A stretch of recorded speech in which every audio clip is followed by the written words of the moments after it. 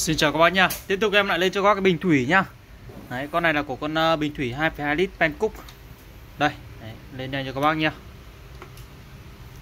Hiện tại thì nước em đang đun thì nó đang sôi này. Đây các bác nha. Đấy, Sôi ngục luôn. Ruột của nó là ruột inox các bác nhá. Ruột inox. Đấy, có những con bình thủy này thì rất là tiện mình uh, pha ấm nước chè hay là pha nước cốc trà xanh hay là pha sữa hay là pha bất kể cái gì nó tiện các bạn.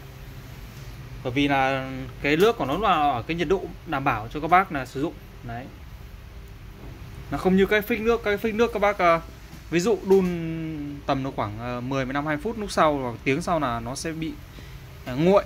Đấy. Cái nhiệt độ nó không được đảm bảo nữa thì lúc đấy các bác pha trà nó không ngon. Hay là pha sữa pha sữa nó không đảm bảo. Đấy, thì thay vì như vậy thì mình hãy sử dụng cho em cái con pen cúc này. Này một con bình thủy 2,2 lít.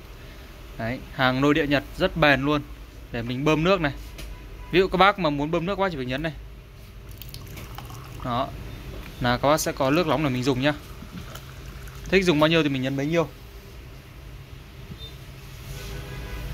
Con này giá thì em đang ờ, để giá rất rẻ luôn. Vâng con này thì để các bác giá là uh, 390k các bác nhá. 390k cho con bình 2,2 lít này. Đấy, bình uh, lôi địa Nhật các bác nhá lôi địa Nhật. Thương hiệu của Nhật. Bình thì hình thức đây các bác nhìn thực tế nhá còn rất là đẹp nó sử dụng cái nguồn dây rời các bác nhá đây. Đấy nguồn đây. Lúc nào mình dùng mình cắm vào này. Đấy, không dùng thì mình rút cả cái đầu kia ra. Đó rất là tiện đúng không ạ? Mang đi đâu nó cũng gọn.